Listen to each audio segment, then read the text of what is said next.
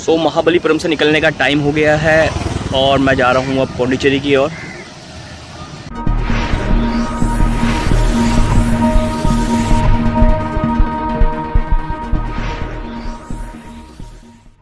तो अभी मैं जिस रोड पर ड्राइव कर रहा हूँ इसे ईस्ट कोस्ट रोड बोलते हैं और ये महाबलीपुरम से डायरेक्ट आपको पौंडीचेरी लेके जाएगी।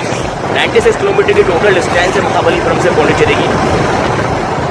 मैं पौंडीचेरी पहुँच चुका हूँ और मैंने सिटी एक्सप्लोर करना स्टार्ट किया है। तो आप मेरे सामने देख सकते हो, ये फ्रेंच कॉलोनी है पूरी। मैं नेम प्लेट्स भी सारी फ्रेंच में है।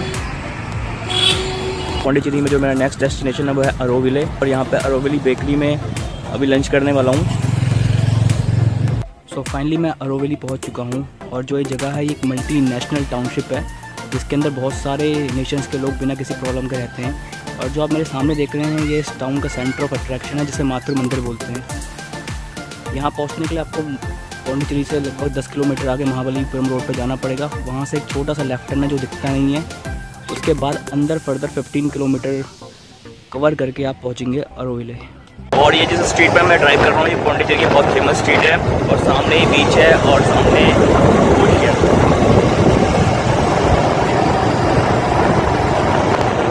हो। गई है शाम और इस समय मैं खड़ा हूँ पौंडीचेरी के फ़ेमस रॉक बीच में।